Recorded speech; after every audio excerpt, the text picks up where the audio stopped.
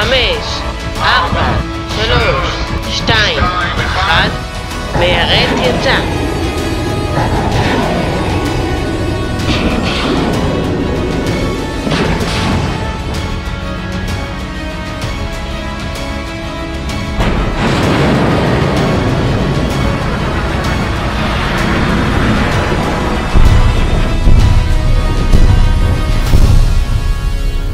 IMDO.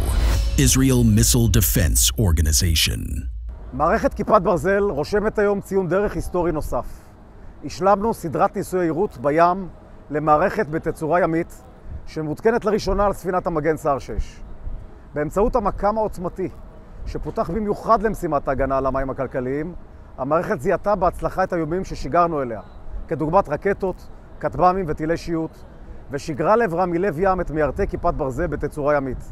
המיירטים השמידו אותם בדיוק מושלם. הצלחת הניסוי מחזקת עוד יותר את הביטחון שלנו במערכת וביכולתה להגן על שטחים נרחבים ונכסים אסטרטגיים של מדינת ישראל. רפאל גאה להודיע על סיום מוצלח של סדרת הניסויים של מערכת כיפה ימית על גבי ספינות המגן.